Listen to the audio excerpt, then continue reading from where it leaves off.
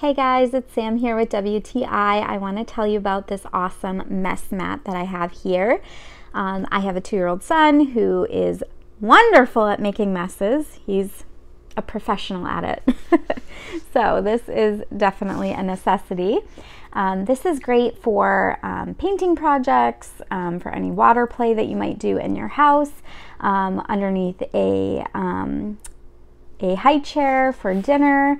Um, it is this material that is waterproof. Um, it is very durable, which is nice.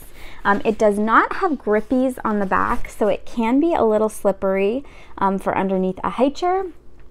Um, but I think it's really, really nice for um, a mess mat for play purposes. I think it's perfect.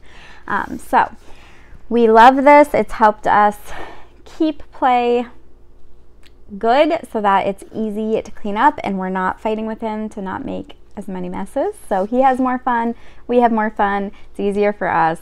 Definitely recommend it. Check it out. And that is my point of view.